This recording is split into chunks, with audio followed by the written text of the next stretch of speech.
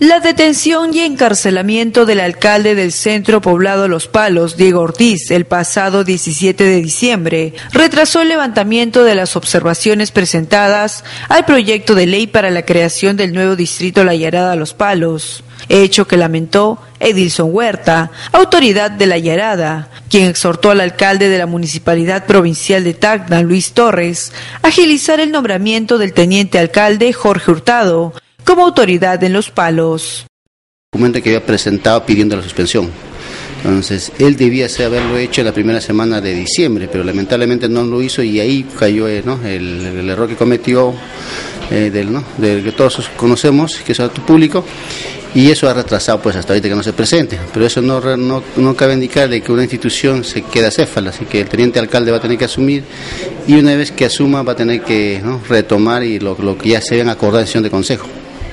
Manifestó que proyecto se persigue desde 2009 e instó a las nuevas autoridades trabajar de la mano para destrabar esta norma que favorecerá a los dos centros poblados de frontera. Afirmó que esta semana se reunirían con los concejales de este centro poblado para debatir esta problemática y promover soluciones tener una reunión la primera semana de diciembre de enero con el teniente alcalde eh, para que ellos como regidores actuales vigentes eh, en, reemplazo de la, del alcalde van a emitir un documento como lo vuelvo a repetir llevando para que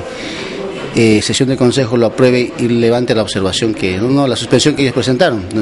Por otro lado Huerta declaró que el Ministerio de Vivienda ejecutará la construcción de 43 módulos de vivienda para familias necesitadas de la zona, como parte del fortalecimiento de las fronteras. Sí, hemos trabajado a través de un convenio con, la, con el Ministerio de Vivienda, eh, donde la Municipalidad de Centro de Población es un centro autorizado a través de, autorizado como centro autorizado del Ministerio de Vivienda para hacer los trámites de techo propio. Eh, se ha aprobado ya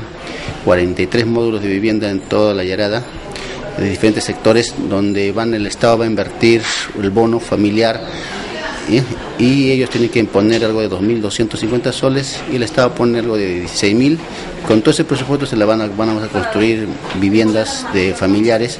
y que el Estado me imagino que entregará pues a los en mes de marzo.